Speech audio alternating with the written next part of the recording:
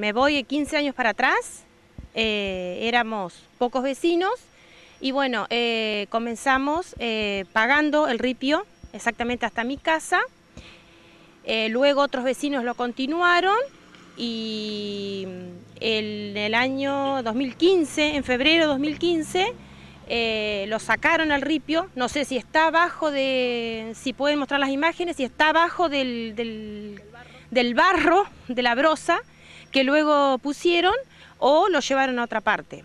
Eh, hoy en día con el, tema del, asfaltado ahí en la, Avenida Colón, eh, es una calle muy transitada.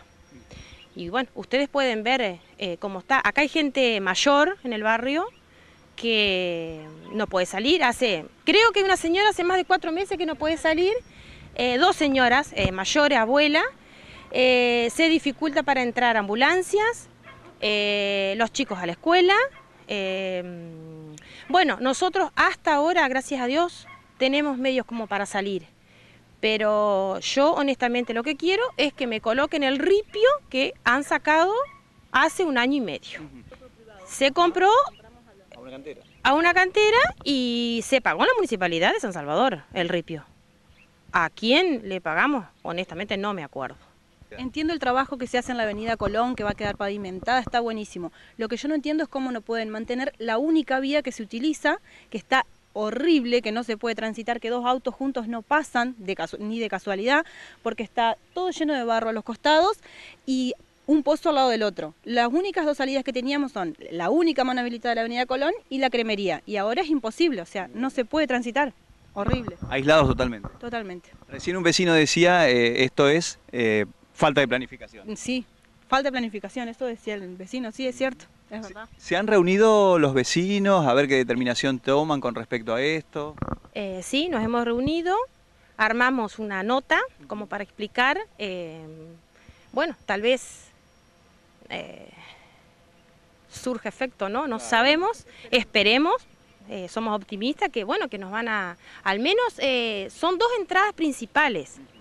Eh, porque esta entrada de la calle La Cremería, toda la gente de las colonias, Bailina, San Ernesto, San Huberto, eh, ingresa por acá. Y eh, obviamente la ruta 38. el ingreso también. También, obviamente, también, sí, sí, de la ciudad. Y... ¿Ustedes han llevado este reclamo a la municipalidad? No, todavía no. Mi suegro ha ido, sé que mi suegro ha ido y ha dicho, pero no nos hacen caso no nos hacen caso. Por eso mismo hicimos la nota para los medios para que se enteren y, vean que tampoco vamos a estar esperando que, no sé, nos lleva piedra. Ah, y le cambiaron, decidieron cambiarle el nombre. No, no, no es que no es que el barrio no tiene nombre. Yo hace 20 años que vivo acá y bueno, no, no tiene nombre. Eh, nosotros nos juntamos, eh, el humor no era el mejor ayer, honestamente, vamos a ser bien honestas y vamos a decir que el humor no era el el mejor. Entonces, ya que el barrio, viendo el más o menos el panorama, no tiene nombre, decidimos este, ponerle un nombre. ¿Y cuál es ese nombre? barrio El Olvido. Que encierra muchísimo. Esto es personal, mío, digamos. Yo pienso que somos un barrio olvidado. Porque hace, como te dije antes, 20 años que vivo acá y cuando uno quiere conseguir algo, tenés que ir 10 veces a la municipalidad. Si queremos la yuyera, si queremos que nos arreglen la luz, eh, bueno, con el ripio ya está todo dicho. Entonces, eh, me parece que ese nombre le va re bien al barrio. Acá es toda gente que sale a laburar, todas las mañanas, todas las tardes. Eh, la gente del barrio es gente mayor que todos los días tiene que salir a trabajar. Llueva, truene, haya solo, lo que sea. Tiene que salir a trabajar.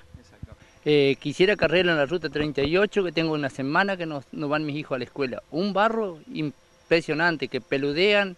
Aparte de eso, eh, visto por muchos de la empresa ahí, ir un tractor a ayudar a sacar, ir un tractor con una pala, cargarse la grosa última que echaron enfrente a mi casa y no volverla a echar, que se está cortando el... Eh, les va a llegar al momento que les va a faltar grosa porque se la cazan con un tractor con pala, se la saca, se la llevan no la vuelven, después va a terminar con el asfalto en el mismo sentido. Tienen que poner un poquito de orden de lo, de lo en general, los que lo, los de la empresa como algo, el intendente tiene que ayudar a la gente, lo- por algo lo votamos.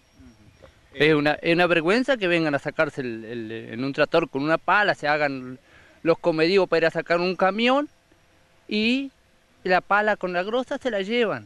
¿eh? Hay en mi casa ayer una cola de 12 autos, entre autos y camiones peludeando. Y, eh, y es una vergüenza, yo una semana, a mí se me atrasan los gurises.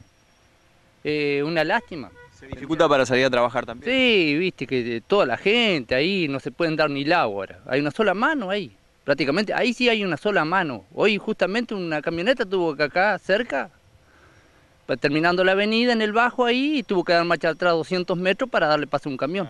¿Y Ni- usted, perdón, usted, su casa desde acá, desde la intersección, cuántos metros? Y de mi casa de acá, de la intersección, tengo mil qui- 1300 metros. Sí, es cerca, sí. Pero Imposible salir. eso- esos 1300 metros tenés que, tenés que traer los gurises en algo y no tengo en, qué- medio para traerlo. Ese es el tema. Y pensar salir en bicicleta. No, no, en bicicleta no, no. No, no, no, tenés que salir únicamente a pata. Y vienen los autos, que hay unos de las empresas de más arriba, de la empresa más arriba, cruzan ahí una o dos camionetas que cruzan como que son dueños que van a una autopista. Eso también un poquito... Cero respeto. No, no respetan. Si hay barro que lo ensucian las criaturas y listo, lo ensucian y después van allá, lo primero que van a decir eh, es un grisucio, esto, que yo soy una persona humilde, pero hay que poner un poquito orden en todo sentido, vamos a decir.